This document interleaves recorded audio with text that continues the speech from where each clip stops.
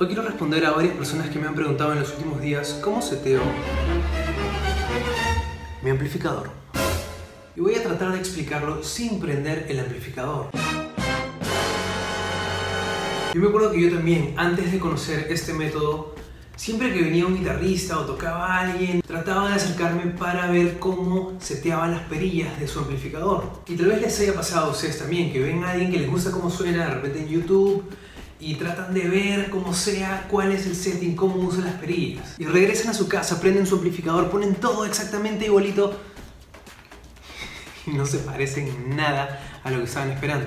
Lo primero que entendí es que tenía que definir, antes que nada, qué es lo que estaba buscando al setear un amplificador. Y lo que yo busco al setear un amplificador es esto. Tener el control en mis dedos, tener el control de la dinámica en mis dedos, tener el control de la ecualización en mis dedos y tener el control de la ganancia también en mis dedos, en mi toque, en mis manos. Poder empujar el amplificador tocando un poco más fuerte y poder suavizarlo si es que toco más suave. Creo que la palabra clave es respuesta, que el amplificador realmente responda a cómo yo estoy tocando. Que el amplificador de por sí no tenga ni mucho ni poco de nada, que todo sea una respuesta a cómo yo le estoy pegando las cuerdas. Entonces lo que entendí es que cada perilla, cada una de estas perillas, la debía poner en el punto de quiebre de lo que supuestamente debe hacer. Cada perilla tiene un punto o un pequeño rango en el que aparece la característica que está controlando. Lo que yo hago es esto. Empiezo con la perilla de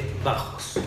La pongo en cero, toco y mientras toco la voy subiendo hasta que aparecen claramente los bajos. Lo mismo hago con los medios. Empiezo en cero y voy subiendo hasta que... Oh, ahí están los medios. Ahí suelto. Lo mismo hago con la perilla de agudos. Empieza en cero y voy subiendo. Normalmente la perilla de agudos va a necesitar un poco más hasta que realmente aparecen esos agudos que quieres tener. Y justo en el momento en el que empiezan a aparecer realmente esos agudos chéveres, ahí lo dejo.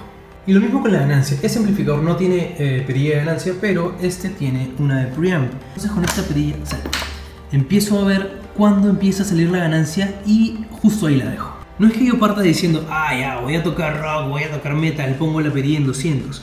No, lo que yo hago es buscar el punto de quiebre, justo el momento en el que aparece la ganancia y ahí lo dejo.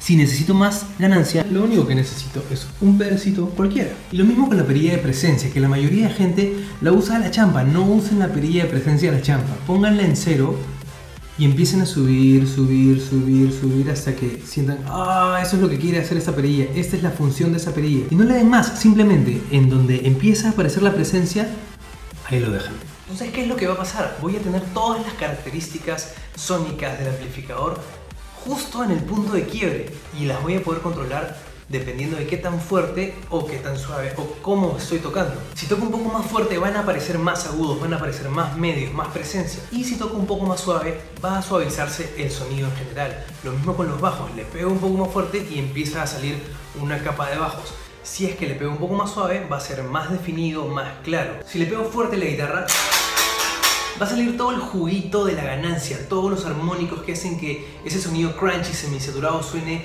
realmente chévere. Y si le pego un poco más suave, ya no va a salir toda esa ganancia, voy a tener un sonido un poco más limpio, más clean, voy a tener un sonido mucho más definido, pero siempre va a estar al borde de quebrarse, al borde de pasar a ese otro espectro sónico dependiendo de qué tan fuerte yo le pego a las cuerdas. Y eso es lo que yo personalmente busco cuando seteo un amplificador. Entonces, como principio general, la idea es llevar cualquier perilla que se encuentren a su paso a cero y empezar a subir, subir, subir, subir, subir hasta que empiece a aparecer esa característica que supuestamente debe hacer esa perilla. Y van a ver cómo todo empieza a cobrar vida. Prueben a ver si es que les sirve este método y me cuentan abajo en los comments. Si les gustó este video, que espero que les haya servido porque me han estado preguntando realmente bastante sobre este tema, denle like, no se olviden de darle like. Y si pueden, compártanlo. Y también algún amigo guitarrista que sepan que tiene problemas para setear su amplificador. Mañana les voy a enseñar cómo setear un amplificador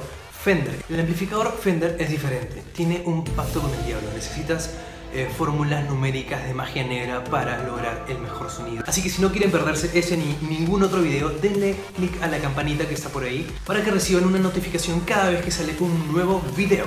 Yo soy Daniel Flores y nos vemos en el próximo video.